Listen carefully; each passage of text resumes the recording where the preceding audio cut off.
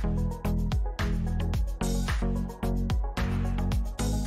All right, I'm here with Qayyum, also known as Q, the founder of ESG Analytics that recently got acquired for six figures. Q, how you doing today? I'm pretty good. It's nice finally get a chance to chat with you, Andrew. Yeah, love the nickname because I got a last name Gazdecki and everybody calls me Gaz, so I'll just call you Q for the the whole interview. But um, for those that don't know you, do you want to give a quick introduction of yourself? Yeah, I mean, I started my career in finance. Uh, that's kind of what I wanted to do growing up, be a portfolio manager, manage some money, and and as a result, I you know went to school for finance, got my CFA, and then half my brain was always like not in the right space because I like technology as well. Uh, and so I was kind of learning how to code and stuff on the side. But yeah, there's a point in time where the company I was working for got acquired and I had a chance to start up a company, not ESG Analytics, but it was sort of my first startup. And that kind of got me into the whole startup world. And from there, you know, I did some big four consulting, but then really spent the last like five, six years just building different ventures and startups. And uh, we've been lucky to have a couple of exits now, which and ESG Analytics is, was the first. Um, and so I just consider myself an indie hacker at this point, but I don't know at which point we stop being indie hackers and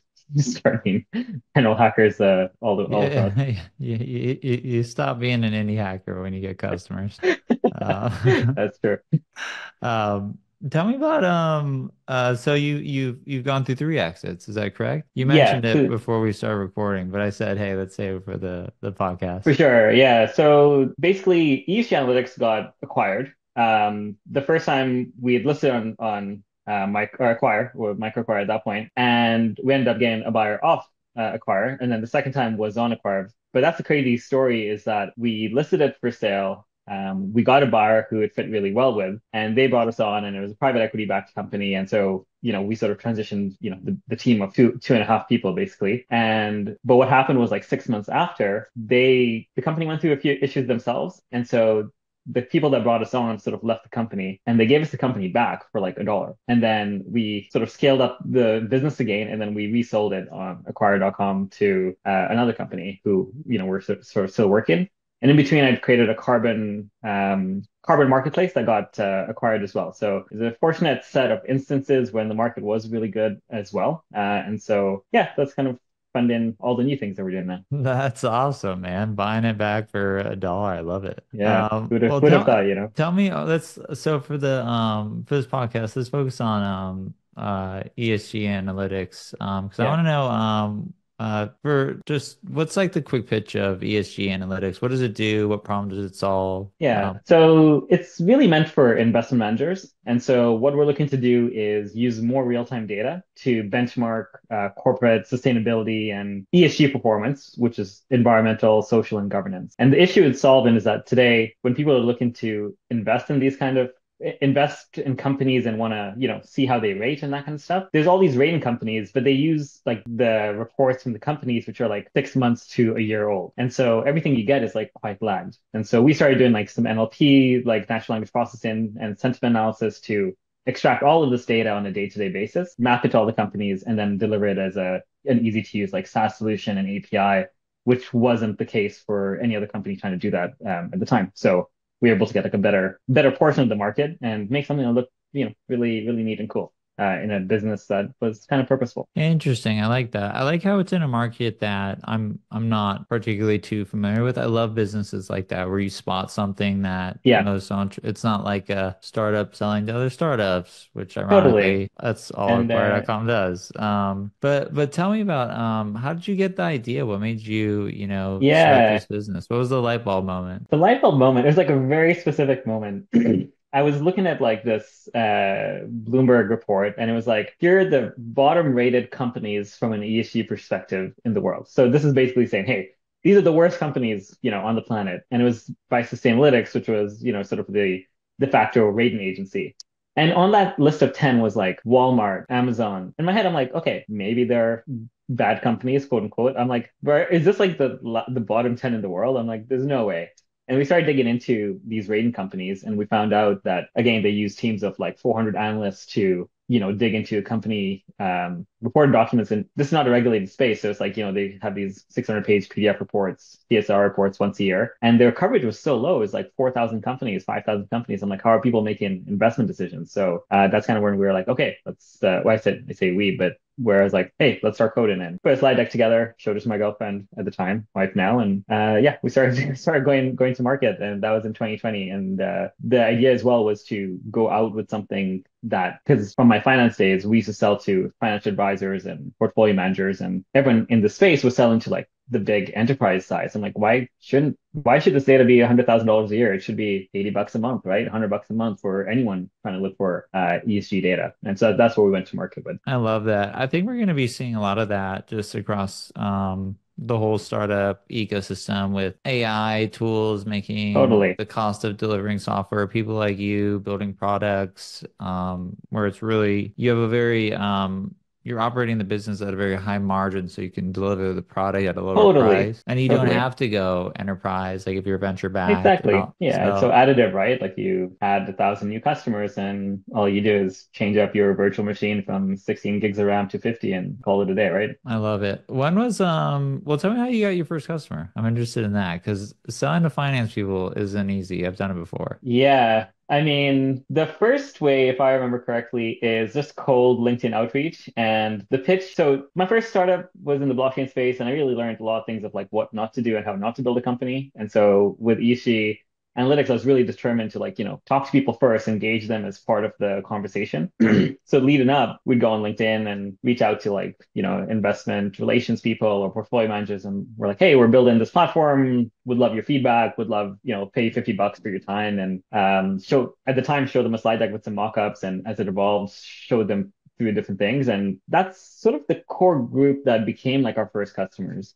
Can I stop you right there and just ask one question? Yeah. So, were you selling the product before you actually built it? Were you just showing like designs and mock-ups and basically yeah. the concept? It's almost served as like a double purpose because we're reaching out to people that we thought were our ideal clients, testing them to be our ideal client, and then showing them and getting their feedback on what they think the product is and what things we might be missing. So we're sort of like co-building, but then we can go back to those same people and be like, "Hey, so we built it. What do you guys think?" Yes, right? yes, good for you, Q. I see. I love the reason I stopped to is I love this approach because this is this yeah. is how you do it. So for those listening, you don't have to build a full product to go to market. And there's really two questions that you want to have answered before you build the product is who's your ideal customer and does anybody want it? You know, too many too many founders just build stuff that without talking to anybody first. So what you can do is and I actually did this with pretty much every startup I've ever built where I'd show the design like hey, this is the concept and kind of get some buy-in from customers and get their feedback, bake it in, and then you start building the product. I'm sure your first version wasn't. Oh yeah, amazing. I mean, I have a I have a really funny story for you on that. So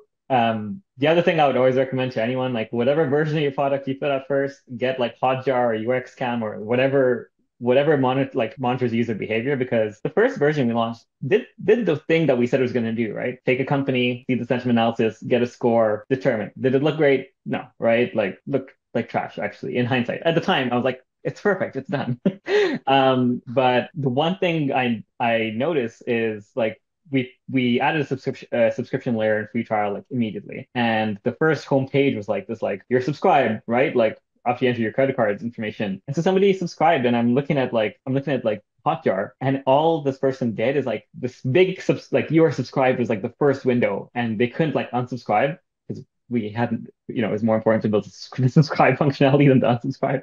And it's just like this thing. And so you just kind of kept clicking on there because they were met with this payment uh, interface and they didn't even look into the app. And then, so that was like the first thing we're like, okay, people are not even exploring because they're wondering like where their credit card is. And so we fixed that. And then uh, we got the app again. And then we started watching people from there. And it's like, we found that people were going in and like clicking around and they were done with the app in like 60 seconds. So it's like, okay, like how do you make this more engaging and keep people coming back and email alerts and all this kind of stuff. So it was a really interesting trial and error journey, I'd say there, like a lot of lessons learned. Uh, awesome. I, I love Hotjar. Uh, and it's fascinating to see what people Amazing. click on. People click yeah, on the weirdest stuff. They'll click on your images. Stuff. They'll click on like tags. Yeah, um, and it's, it's insight that you just don't get like anywhere else. Even if you talk to people, like like without it, I really feel like you're flying completely blind, like marketing website and, and otherwise. Yeah, so. it's a great tool to understand how people are using your product without them feeling like, hey, yeah. I, I, want your feedback. It's it's kind of like the natural usage of the product. Totally. You get an idea of what CTAs are standing out, and then in Absolutely. your case where, where people are getting stuck. Yeah.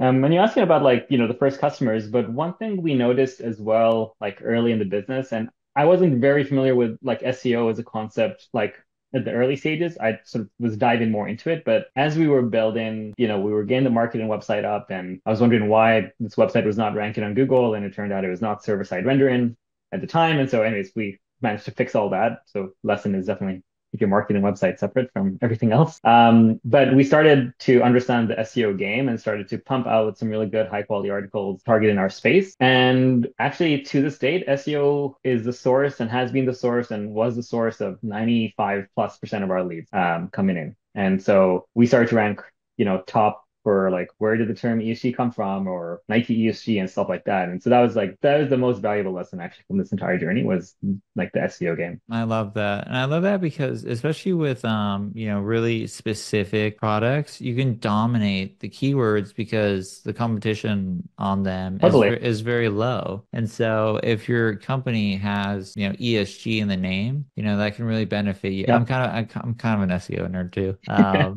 I spent my morning programmatically deploying like 300 SEO optimizers. yeah, but I mean SEO, it's a, it's the gift that keeps on giving. So essentially, you totally. know, you do this like upfront work and cost, but now your customer acquisition cost is essentially zero because totally. you just have customers and new leads coming to you. So that's awesome. The next question, though, um, I love asking this question, but um, did was there like a time or day or moment when you like kind of sat back and you're like, hey, I, I I really got something here. I got, I found product market fit. This is, I don't know where this is going to go, but it's working. Yeah, no, it's true. I mean, you know, in our initial slide deck, I wanted to build to sell, um, but that was theoretical at the time. And as the applications started rolling and we saw like this traffic come in and we started to get the assignments from SEO, I'm like, oh, like we really do have something here. And it was primarily self funded, but with some money from family and friends too. So there's also this very real burn happening, right? At the time. And so just that balance was really interesting uh, to navigate. But, you know, we'd started reaching out maybe like a year and a half, like into the journey for prospective sort of buyers and just, you know, just targeting stuff. Because the thing is, I kind of make this distinction between things that are sexy and make sense from an investment perspective and things that maybe are truly commercial. And I'll classify that the early days of ESG analytics as something that people wanted to get into. It was sexy and it was good from an investment perspective because of the zone. But it's still, even to this day, slightly early from a true commercialization perspective all the way across. So it's additive to the firms that wanted to acquire it, like really strategic. Um, but from a customer perspective, it's not like we had like, you know, a million users or a million customers when it was actually bought both times. That's a great realization in terms of just or self-reflection in terms of just, you know, where the the business is. Because yeah. the guess what the number one factor of um really outside startup success is? Go. It's timing. Yeah. Oh, absolutely. Like I'll give you a few examples. Like before YouTube, there was like 10 different video sites, but the problem was um, video files yeah. were too big. And then Adobe Flash came out right. and YouTube capitalized on that. Um, Uber wasn't available until the mobile phone came out. Yeah. Uh, what's another good example? Um, Airbnb. You yeah. know, the, the they tried for you know years, totally. but it wasn't totally. until the economic crisis happened that people were a little bit it's more so comfortable true. having people stay in their house for some like, extra income. If you don't have the right timing, like you might as well be wrong on your entire idea. Like not necessarily, but like it's true. Like from a from a true value perspective, it's uh, like we were lucky that first time that we got required to do it at like a you know 22x like uh Ration was good like you know mid six figures like you know it was great. And but you know today like it's a little bit different right? Like with fund and stuff like so even just that timing that you go to market and the timing that you exit it's uh, that that's always so bad. you you bring up a great point too. I mean the time at which you exit your business too. So yeah. I always say you want to sell it at the peak, not at the pit. Yeah. So you want to sell when things are going good. Absolutely. And that's really hard for a lot of founders because I have yeah. a lot of conversations that are like, hey, Rat, you know, two, three million now, but we're totally going to be at 10 million in a year. Yeah. And that's not guaranteed. And if totally. you have acquisition offers in hand, I another saying I, yep. I always have is treat every acquisition offer as if it's the only one you will ever get get because it may be. And so yeah. um just food for thought there. But um let's move on to your acquisition. I want to hear I want to hear about how this all went down because yeah. Um correct me if I'm wrong. So you listed on acquire.com. Uh some other private equity firm bought it, but then you yeah. ended up buying it back and then yeah. you listed it on acquire acquire.com Yeah. again and then found a buyer and sold it that way, Yeah. right? So yeah, exactly. Okay, so So- tell me about um the second time that you listed where you had the successful acquisition with us. Um, Yeah. how did that go? What was like? What was your expectations? How many buyers reached out? Um, It was really, it, yeah, it was a really interesting process. So first of all, thank God I have my my uh, my my sales co-founder now. Uh, Matya helped me manage this entire process. Uh, so we're sort of like a, a pair team. But okay, so we we got it back, and we had actually reached out to somebody on the Acquire uh, marketplace as well to be like, hey, like you know, should we look, at a broker for this? And the guy, I forget his name, but he was like, I'll help you grow this to like one million. Uh, and I'm like, okay. So there's a choice here. Either we can scale it up or we can, you know, listed. But we chose to like sort of do some groundwork, get it all nice, spend like, you know, 10 grand on a redesign, all that kind of stuff, and then and then list it. And so we started to get some offers. And one of them actually was somebody who had offered the first time as well, who we'd kept in contact with. And so we started a conversation with him. And he was a super nice guy and sort of really wanted to uh you know, he, he was super interested in this and he had come off an exit himself. And so we started going through um, the, the thing with him. And then that sort of like went here and there. And then we got like four other like very tangible offers. Um, one was from the guy who we ended up selling to. And then one was somebody who had sort of like a venture firm. So they wanted to come in and do sort of like a like a like a carve out in a way, like where we'd sort of work with them, we'd retain a percentage and we sort of all go together and they had some really good B2B like marketing expertise and that's how their firm operated, which is actually really attractive at the time. Another one was like a Swedish firm who wanted to do, I think it's like 60 40, um, but then list us uh, to one of their public vehicles on like the Swedish OMX exchange, which is also like an attractive thing and an interesting journey. And so they're like all these like very different uh, sort of things. Uh, and so we actually went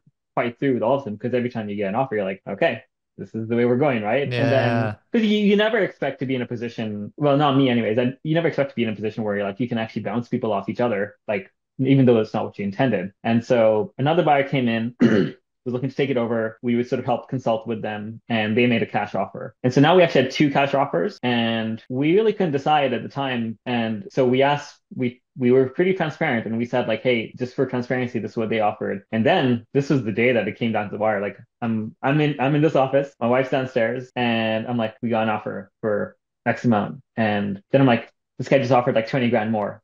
I went back to the other guy, that's and. I'm, he's like, he's like, okay, I'll match it. And I'm like, like 40 grand more. And like, I kept like coming up and down the stairs, and I'm like, okay. And then they'll then like close it off, and uh, then I was, we went with them, and it turned out to be the best decision because they really understood our business, and it's so additive to what they do. Um, but it was like this sort of like ping ball back and forth, and it was a very cool uh sort of thing. We, you know, got the asset purchase stuff uh done we were, as you can imagine, extremely organized because we gave the company away, integrated it fully, and then reintegrated, took it back and reintegrated ourselves. So, like from a domain, email, documentation, code, like we are extremely organized and set up. And yeah, we transferred that over. We got the cash in the bank, always the best feeling. And uh, to be honest, we're still consulting with them, which is something that people don't always talk about with acquisitions. Is the follow up post acquisition? There's all the stuff you do, but typically you do get a consulting arrangement with these companies, um, which happened in both cases. Um, Yeah. That yeah. Yeah, very it's very typical to have some sort of if you're if you're if you're selling a business, at minimum I would expect Yeah. 90 day transition plan or consulting agreement and you can get Totally. paid for that too. Yeah, yeah, yeah. And the best part, there's two things that you said that I, I really, really like and I want to touch on is number one, I like how you kept in touch with um, other buyers that you had spoken to. So if you Yeah. sell on acquire.com and you sign a letter of intent, but you have other offers, it's so important or, or maybe not important, but um, it's just such a, a good move of character to go back to every buyer that gave you an offer and just say, hey, thanks. I'm moving forward with this other buyer. If anything goes wrong, I'm I'd be happy to reach out to you to let you know. Because you Yeah. never know. You might sign the LOI and things just don't go correctly. And then Yeah. if you have other buyers ready to go, um, it can also, you know, keep momentum on the deal towards closing. Because I always say if you have one buyer, you have no buyers. And it gets Yeah. very fascinating. And this is Yeah. how you increase valuation Sure. or get better terms is you have multiple buyers because you have leverage. You're able to say, just like you said, hey, someone offered me this. And Yeah.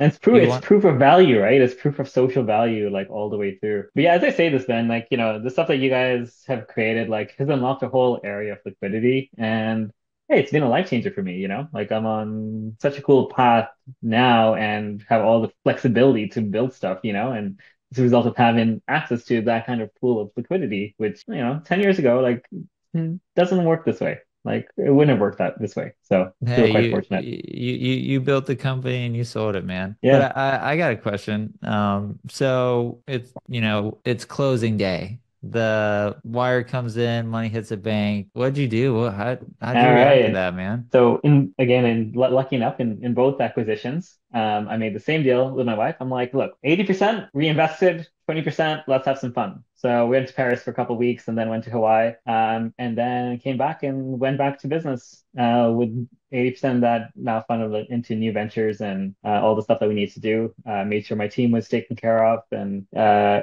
at this point too, you know, after the first acquisition, uh, I was the sole sole owner of everything. So yeah, was able to, you know, make sure everything's everything's compensated nicely and excited and bonused out, and now we go again. I love that. I have a rule that I always tell founders, depending on like the size of the acquisition or Yeah, but but yes, don't spend it all. That's the rule number yeah, one. exactly. But also if um you're unsure of, you know, where you want to invest it or whatever maybe, just let it sit in your bank account for six six months and just Totally. ch change nothing about your lifestyle. Don't Yeah, don't start, you know, yeah, angel exactly. investing, stuff like that.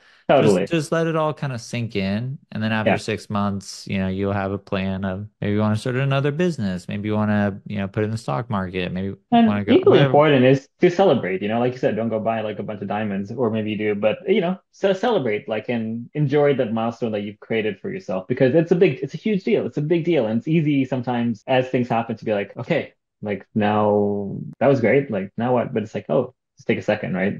And appreciate. I agree with that too. When I um when I sold my first SaaS business, um I bootstrapped it and sold it at when we reached around like 10 million in recurring revenue. So it was a meaningful exit. And I Yeah. just bought a $35,000 um Mercedes Nice. AMG. It was like my my dream car. Um but I bought it used. Um Yeah, you know, didn't buy like a of course. obnoxious car, but just a little sort of, Yeah. you know, the promise you made to yourself as uh, younger, younger uh, Andrew, you know? I, it was so I actually true story. I ran that my previous startup for eight years, and my call I launched a business in college, and my college roommate was like, "Why are you always looking at like AMG Mercedes?"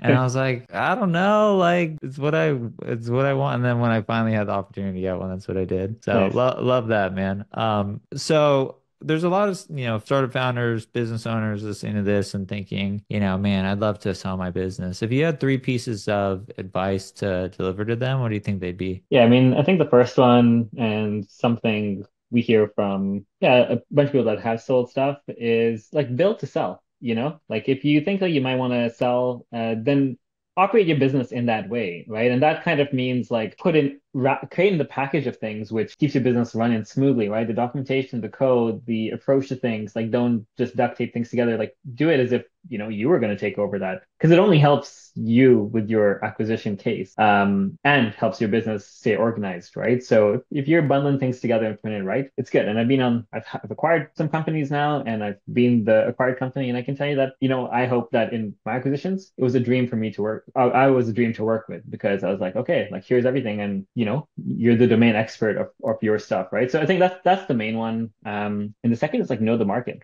right? Like understand where valuations are at, understand what you should be asking because oftentimes the person, especially these days, the person acquiring your business might not necessarily be, you know, this like SaaS founder or something who's like you have a chance, you do have a chance to benchmark and dictate yourself, right? In your terms, right? So you know markets are hot, you know where things are at, like make that pitch, right? And and translate that, right? And I think if you do that effectively, then you obviously can take as much value out of that. So I think those are like my top two, but definitely the organization one is the is the most important. Um, don't have a third one off the top of my head, but I I guess celebrate. yeah, I mean, there's there's one right Oh, there. I, sorry. The third one is it is never over until the money is in the bank. Like, yes, and just to give you a good example, the first acquisition, like three days before closing, they're like, "Oh, we need to do like a lien check on the business." I'm like, "Great, got I don't know what Google Cloud and $500 credit card, right?" And anyways, they do it. They do a check. It turns out that our uh, the bank that we had our credit card from, in order to just give a credit card, they take a lien on the entire business, um, just as a blanket as a blanket lien. Like that's their standard procedure. So now I had to. We actually had to push the acquisition almost a month and a half forward two months because I had to call the bank and get to the deep dark recesses of the corporate Toronto my tower that dealt with lien removals on credit cards for small businesses. And I uh, have to keep the business open while closing down a credit card to remove the lien, which went to like some other government organization. And I was stressed out for like a month. I'm like, had RBC on speed dial, being like, can I get this $500, this lien removed on this $500 card? That almost, that almost stopped the entire acquisition. Like literally, like it was actually, That is so wild. it's never over. And Yeah, yeah, I I see that a lot with with acquisitions that we work with, you know, it, it Yeah. yeah, last point, it's not over until the money hits the bank. So Yeah. That's continue actually point to number one. Yeah, so to build on that, um, I'll start with your first one because I agree with all of them. Preparation preparation is so critical for like I cannot stress this enough. Like have your financials together, have a list of common due diligence questions, create a transition guide, make it easy for the buyer to wrap their head around their your business because most buyers are looking at typically, I always say 100 deals per day. And startup founders don't realize that. Like, and to look at your business and to go through your docs or to actually have a conversation with you is a big time commitment comparative to the other 99 startups they're going to look at that day. Totally. And then on your second point in terms of valuation, this is a big one. This is probably the number one reason why I see a lot of startups not selling Yeah. is they read about some company that sold for 10 times revenue and that The biggest thing, that man. that happens, but that, that's an outlier. That's not the averages and that's the Yeah. normal. Um, and then also understanding who is going to buy your business. I always Totally. say you Totally. have a, you have a 45% chance of getting acquired by private equity, 5% strategic, and then 50% it's probably going to be an individual buyer. Yeah. Google's not dying to buy, you know, um, Yeah. you know, a subscale SaaS business. Um, you know, they they typically strategics, you know, they aren't actively buying companies as much as private equity and individual buyers. So Yeah. treat all buyers like the buyers, like they are the buyer until they are not. You can follow up all the way until you're blue in the face until you get a no, just like you're in Yeah. sales. And then Yeah, exactly. Like you got to run it that way. Like it, it, it's a marketing exercise at the end of the day. And just even following up with the 40 people that reached out with an LOI, it's like it takes like I'm sure so many deals die just because people were like, uh, I can't deal with all these emails. You know what I mean? But you got it. Like, You have to sell your business. You have to get on Yeah. calls with buyers. You have to be transparent, honest. You have to be prepared. You have to have realistic asking price. Otherwise, buyers just aren't even going to give you a yeah.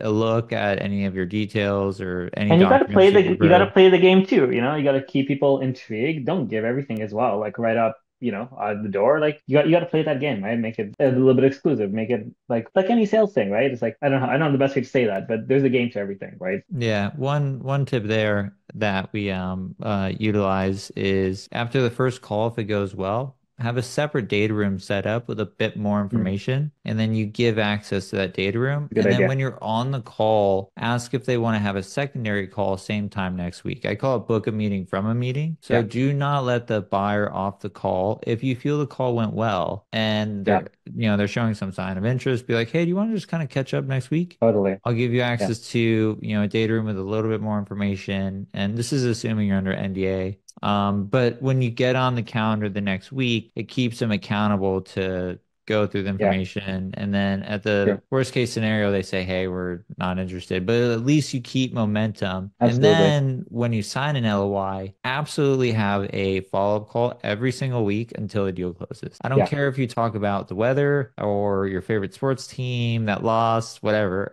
or some really big issue, but constant communication, because that's where a lot of deals die too, is just you, the momentum starts to slow and, you know, like something, true. a surprise comes up. You want to address those things as quickly as possible. So, um, another, another tip there. Um, Yeah. And also, yeah, that, that's fine. I was gonna say, I mean, just uh, other one was just like, yeah, like, you know, things like asset purchase agreements, if they make sense for you, are so much easier to do, right? So you make things easy for both parties. Yeah, legal counsel always there to help. Or Yeah. acquire.com, we we got a asset purchase agreement builder, Totally. letter of intent builder. Um, sorry, sorry, shameless plug on my own podcast. No, no, no, no. That's that's what I was referring. That's what I was referring to. So, So Q, um, you've gone through uh, you know, several successful exits now. Um, I gotta assume you got something new you're working on. What's what's next for you? Yeah. So the outcome of the acquisitions today has sort of been the formation of like my own holding company called New Ventures, NUU, which is sort of a nickname my brother used to call me. And sort of within there, we're um, buying some SaaS businesses. We're building. Nice. Where are you going to buy them? We are buying some from acquire.com. Uh, we've purchased a few others just through cold outreach for just one for my friend the other day. But we're basically buying traffic. So we're building niche sites and we're buying products to fit with these niche sites. I would tell the niche sites, but the first rule with niche sites is don't tell people what your niche site is. Um, so yeah, so I've made four acquisitions this year uh, which has been exciting. And it's nice to get acquired for 10 to 15x and acquire for, you know, 2x if you can. and uh, their spread there. And so yeah, so we're building stuff, we're building traffic, and now I get to play the long term, three to five year uh, game as opposed to the six month, uh, you know, watching the burn in my bank account go. And so yeah, we're doing stuff in the freelancer space, the remote work space, SaaS, and then carbon and finance. And so uh, we have a team now where we can kind of push everything together, and uh, we kind of operate like a venture studio, which is kind of exciting. Love it. Well, Q, I'm I'm I'm rooting for you, man. If uh, if people want to learn more about you or just reach out to you, where can they find you online? Uh, you can find me on Twitter at Qayyum Um, yep, I'm always around there. So just DM right. me and I'm super responsive. We'll put that in the show notes. Hopefully you don't get too many people reaching out. But um congrats again on the acquisition, man. And uh hopefully Thanks. I see you back here selling, you know, seven, eight figure acquisition. That is the goal. So hopefully. All right, man. Great chat. All right. Take care. Cheers.